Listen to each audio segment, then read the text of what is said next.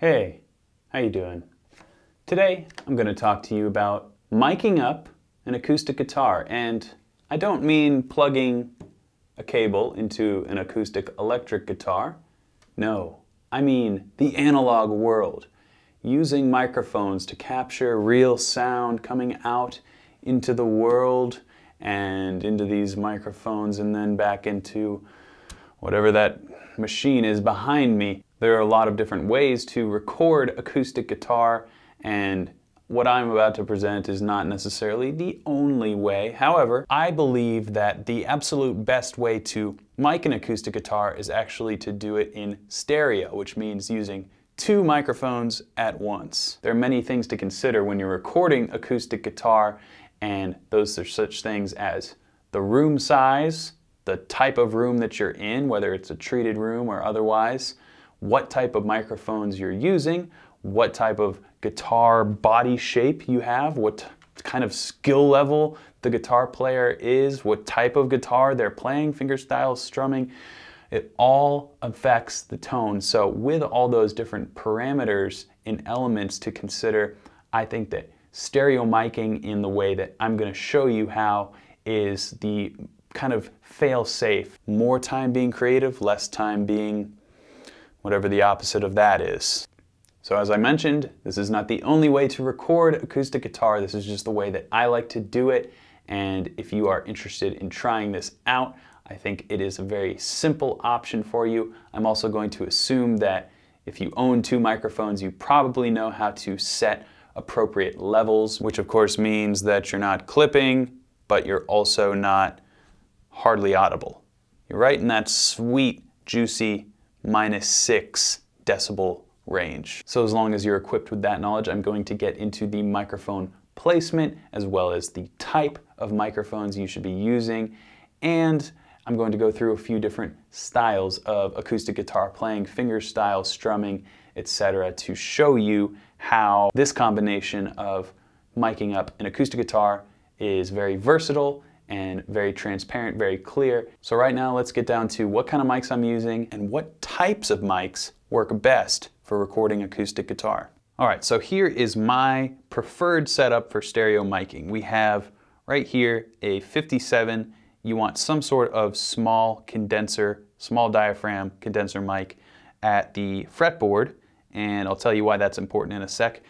And over here, I have a Rode NT1, which is a larger diaphragm condenser mic. And this is good for picking up the lower end of the acoustic guitar the kind of bassier, heavier side. So with these two, you capture the high frequencies and the low frequencies. I find that this microphone combination is ideal for recording acoustic guitar. Now, let's talk about the distance because this is where it's important to have somewhat precise, accurate measurements. This is something that I think engineers have probably struggled with in their lives. I'm no engineer, but I can imagine if somebody's always moving around, you know, the performer is moving around and things like that, it can be difficult to capture a consistent recording sound. So I think it's important for you to kind of abide by these guidelines and of course adjust them to your tastes. But here's a general rule of thumb. So what I'm gonna do is measure the distance from the fretboard to the first microphone, the 57 here, and I can see it is about six inches or so. This is called the rule of three or whatever you want to call this.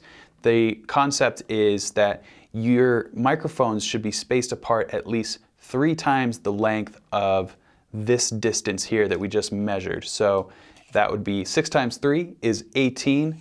I am a math wizard. As you can see, this is clearly too close. So what we want to do here is actually move this microphone to about 18 inches away from this microphone. And perfect. So they're perfectly in line, of course, but the distance here, 18 inches, 6 inches, 6 inches.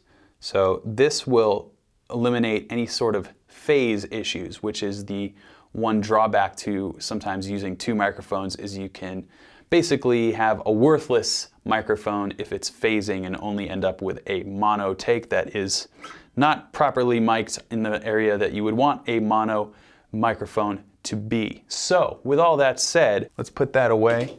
Let's hear what this sounds like.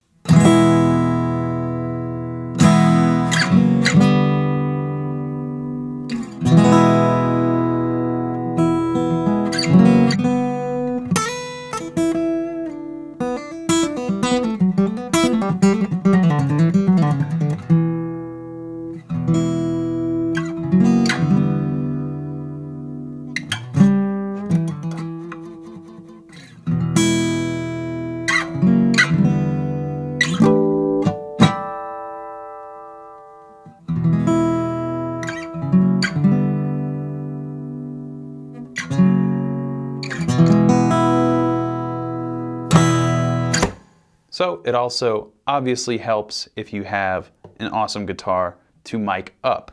And just so you can, you know, hear what it would be like if, say, the microphones were phasing, perhaps. Let's move this one a little bit closer. So this would not be following that rule that I outlined before. Let's hear what that would do.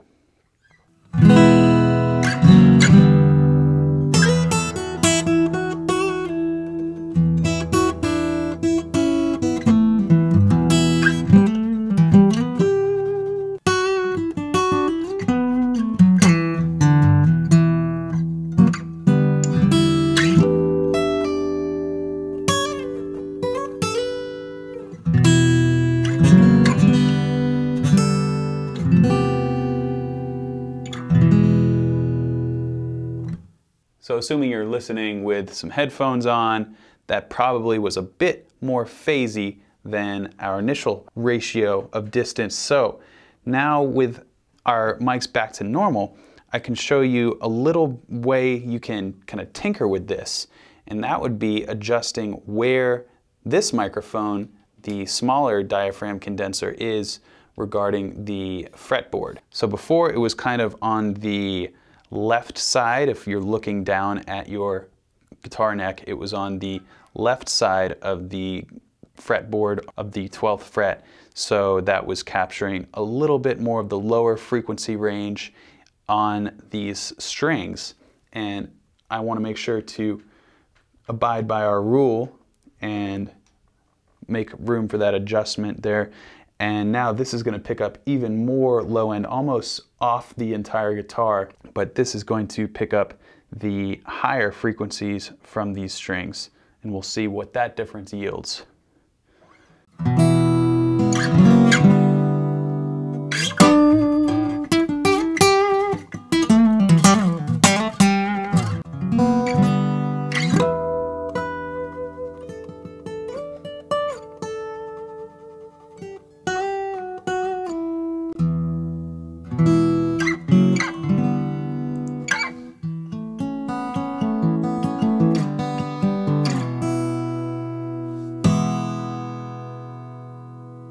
So, three variations, two of them I would say usable, one of them maybe not. Depends on what you're going for, of course. Now I'm gonna move back to our original recommended positioning and let's just double check and make sure. Remember the rule of three, we've got six inches and we've got 18 inches. So we are right on schedule. I'm gonna play with a pick now and let you hear what that sounds like.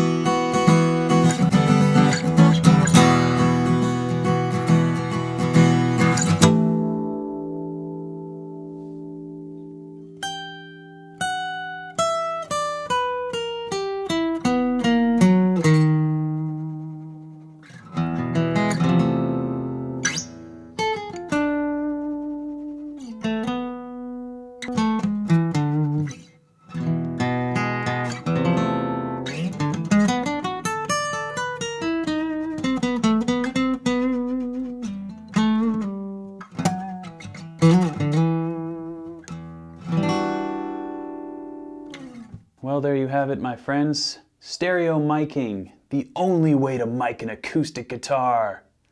I'm just kidding. But it's the way I like to do it, and it always gives me solid results and it gives me a lot of flexibility. Like I mentioned, that's what I value the most when it comes to home recording in general is being able to do one thing one way all the time and not have to think about, oh man, did I get that? Did I do that right? Do I have to go back and do it? That's really taxing. Uh, I'm sure we've all been there, but if you can figure out a way to do something well that works for you, then you should try to stick to that. So that's what I found with this type of miking up acoustic guitars. So hopefully uh, it helps you find your happy place when it comes to miking acoustics. Let me know in the comments how you prefer to mic your acoustic guitars. I'd love to learn from you guys too. There is an XY axis that you can put like two small diaphragm condenser mics at, you know, like seven or eight inches off the 12th fret, kind of in an X shape. That's also a very common way to do it. But I like having the flexibility of multiple different diaphragm sizes in my mics. I just find it gives me, again, more options in the tonal environment. So I hope this was a helpful lesson for you guys. I'm gonna be doing a lot more home recording studio tips for guitar players coming up. So make sure you stay tuned to my channel and explore other videos I've made. And until next time, keep shredding.